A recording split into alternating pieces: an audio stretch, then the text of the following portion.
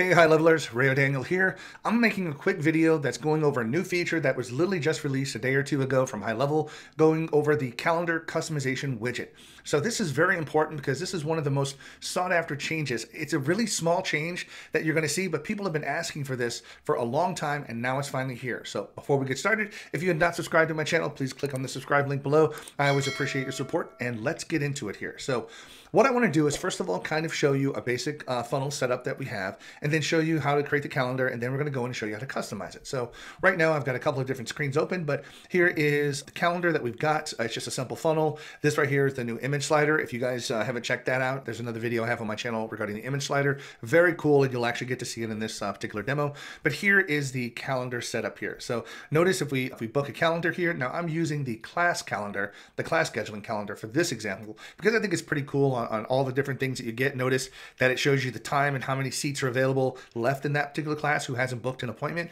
Pretty cool, I think, but I want to show you how you can customize that and even be able to turn that feature off if you want due to this new customization widget. So this is perfectly great. This is terrific. Let's get going here. So we've got the MacBook training calendar is the one that we've been dealing with here. So what I want to do is just hop over here and get into our calendars, go into our calendar setup here and choose our MacBook training calendar and I'm to go edit that. Now notice we have a calendar logo. Now what I want to do is just pop this up and just quickly preview this so we can at least see what it looks like. So notice the image slider, you know, pretty cool, right? All right, just just going on. Let's let's move on. so here we've got a nice little uh, training icon. Looks like somebody teaching. We have MacBook training. We have this uh, little description. This is a sign up calendar for the MacBook operating system training. Here we've got, notice the colors, we've got sort of a white background. The color that we have here is blue. This has been pretty much a default standard um, that we have. Now, um, one of the things that we do if we want to click on uh, like to book an appointment, notice we have just continue. And one of the biggest things we're going to look at here, yes, is this button right here. The button that's I'm hiding from here, schedule meeting. This right here is what the most sought after. People have wanting to customize this button to say something different other than schedule a meeting. Well, guess what? The calendar widget now allows you to do that. Let's hop in and take a look at it. Pretty exciting stuff, I know, but let's go ahead and hop into this. And I'm sorry, we'll go back to the calendar here. So right now we've got just a logo we can um, handle, the name, the description, um, we've got all the other basic information regarding the, the meeting, the availability form. Right now, what we want to do is hop down here to the customization area because this is where all the uh, meat and potatoes are, forgive the expression. Now, this is only available on the Neo widget. Now, keep in mind, most people are already using the Neo widget, so it's not going to be a big surprise. But if you are using a Classic, you do have to switch over from Classic to the Neo widget in order to utilize this. But let's take a look at a couple of the settings here. First of all, the primary color here. This primary color being blue. This is the blue that you primarily see down here behind the scheduled meeting. And let's kind of take a look and preview this again. so we can look at it here. So all of these letterings here that we see, the, the 8 a.m., the, the color, the dates of these calendars, they're all the default color that we see here, this blue. And then the background color is white. So the good thing about it is, is now we can change those colors. You can make them more towards your brand colors if you wanted to, or create something that's just a little bit more custom so that all of your calendar widgets are not the same. They all don't look the same. They, you can tell them what they are just simply by the color of them. So that's great. Hey, real quick guys, if you're looking to start your own software company, then click on my free course in the link below. I'm going to teach you eight ways that you can start your own software company very easily with no money out of pocket, no experience, and absolutely no tech skills. Check it out, click the link below, and let's get back to the video. So we can uh, change the primary color, the background color, the button text. Notice here, I'm going to blow this up a little bit here.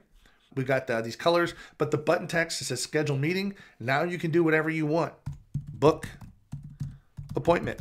So that's perfect. You know, so now we can change the text of that color of that uh, little button that we saw. So we're going to see what that looks like here.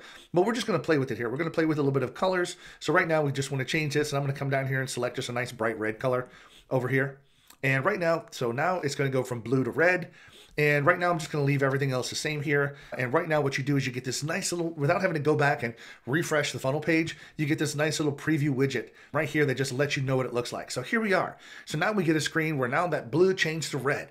Do you see how easy that is to sit back and customize it? Beautiful, right? So we're going to go ahead and uh, close that.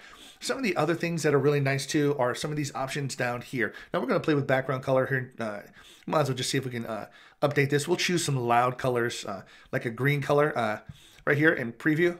So now you see this is uh, pretty ugly to look at here, to be honest. Uh, so this definitely need to uh, check the colors before you start doing this. But if you wanted to, you can make this look however you wanted to. Change it to something a little bit more uh, easier on the eyes. Again, that's not so easy on the eyes either, but guys, you get what I'm saying. You can now customize the background, you can customize the text, And then, of course, if we click on highlight one of the things and click continue, we also get this nice little uh, book appointment. Uh, I know it's probably a little bit hard to see, but now instead of schedule meeting, it says book appointment just like we can customize it here. So this is great. This is what people have been looking for. Now, some of the other ways of being able to trim down the, the calendar widget is if you take a look here, notice that the calendar title, if you don't want the title to appear, just simply turn it off. And right now, uh, we'll just take a quick look at that. But I do want to sit back and change this to, to something not so harmful on the eyes. So we'll just go back to using white to make it easier to look at. So notice here that now the MacBook training title is gone. We don't have that anymore. So if we wanted to, of course, we can turn it back on, come over here and just simply refresh this. And of course it didn't pop up. Maybe you have to hit the preview again. But here we go, MacBook training. That popped back up. So you see, it's just very easy to come in here and configure this to do the calendar description. You can turn this off or even calendar details regarding this. But one of the other things, if you also wanted to, because this is a class booking, you can also sit back here and turn off the show uh, seats per slot. So if you want to do that, notice that we, on each one of these, uh oh well, I guess it uh, that didn't really work out too well. Kind of bombed on me. But uh, turn off this that and yeah, still shows a number of seats. So not sure what happened on that one. But anyway, this is great because now you can actually customize the widget. Now, I do want to sit back and simply state this. You can only customize each calendar once. Now, unlike the the new reputation management, uh, if you you know the review widget, I have another video on my on my YouTube channel that goes over the how to customize the review widget. That's a new feature that was also just recently released. With the review widget, you can have multiple configurations, but you can still only have one active. Here, they don't have multiple configurations, so you only get one, and that's in this particular screen that we're looking at here.